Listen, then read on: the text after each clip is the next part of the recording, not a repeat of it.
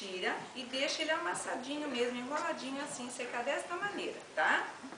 Eu vou trazer ele pra cá. E é gostoso que você agora vai brincar com uma bexiga. Então eu enchi uma bexiga. Tá? Não importa a cor, isso não vai ter influência nenhuma.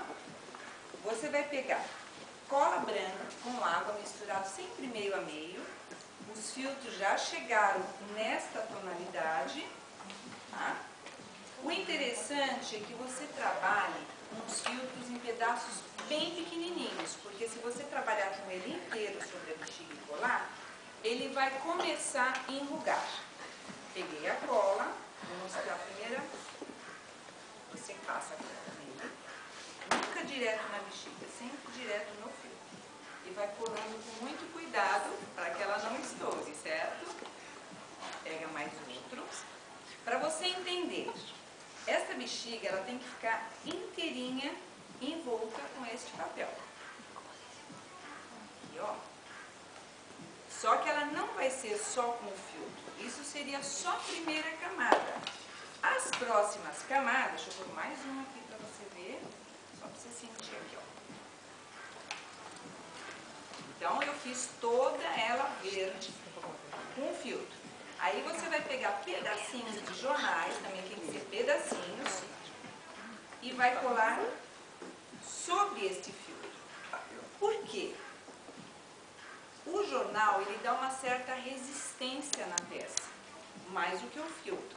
E mais para não ficar gastando né, a nossa matéria-prima, né? Aqui. Lembrando que é todinha a peça. Onde que nós vamos chegar fazendo isso? Eu coloquei o eu coloquei 10 camadas de jornal. Olha onde eu cheguei.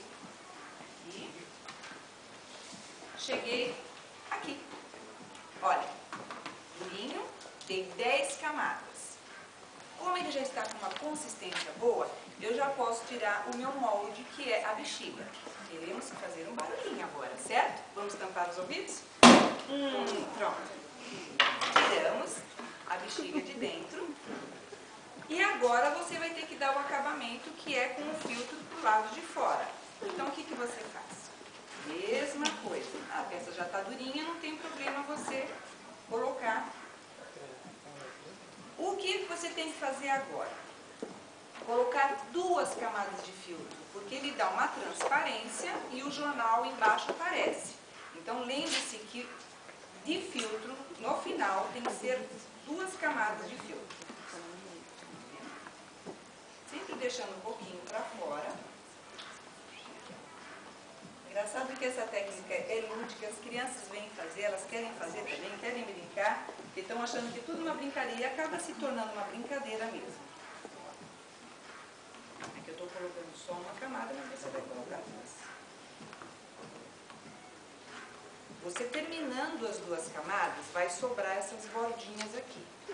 Você faz com essas bordinhas? Duas, você pode tanto cortá-las, como tem a opção de virar para dentro.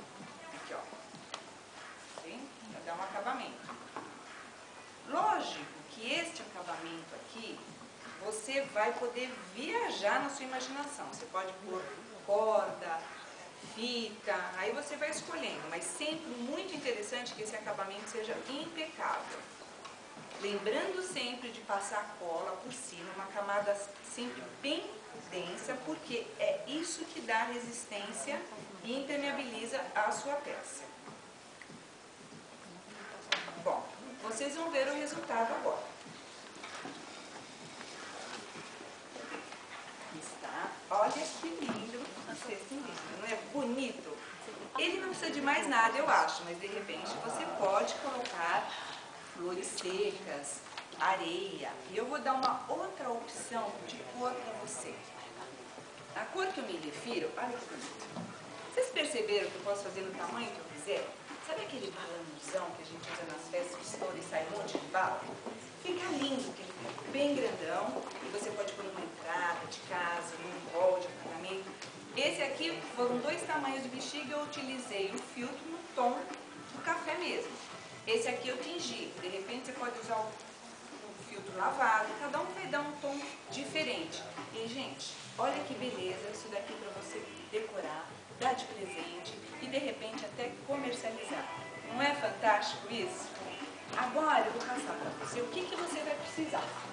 Uma bexiga de festa, cola branca, jornal, filtro de café e um pincel médico. Você gostou, Bruno? E vocês aí na sala, estão gostando desse trabalho?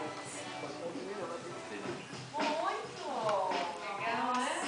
A gente não vê a hora de começar, né? Que coisa bonita, né?